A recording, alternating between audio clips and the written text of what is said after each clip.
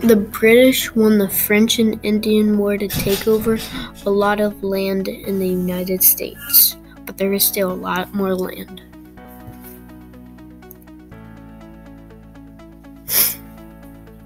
But the war caused British to be in lots and lots of debt.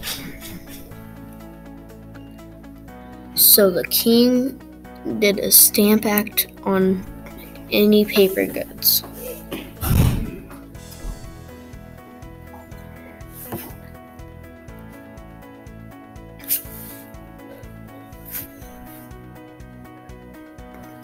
Which made the colonists very angry because that is called taxation without representation.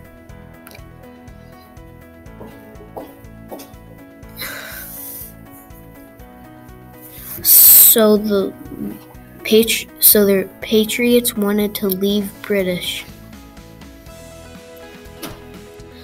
But there were loyalists and they wanted to stay loyal to the king, which means stay with the king.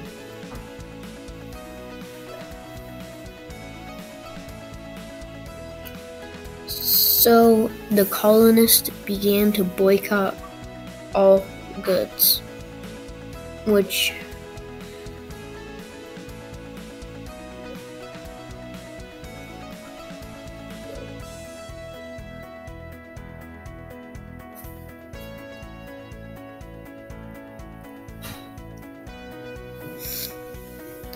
and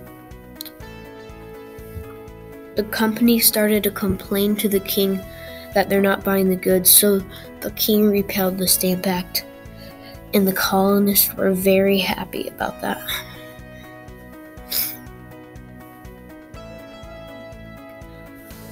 But a year later, the king made taxes on uh, paper.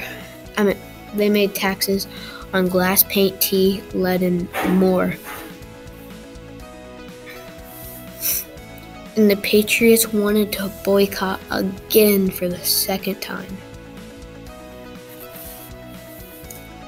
Which the colonists then wanted to fight them because the British soldiers were sending more troops.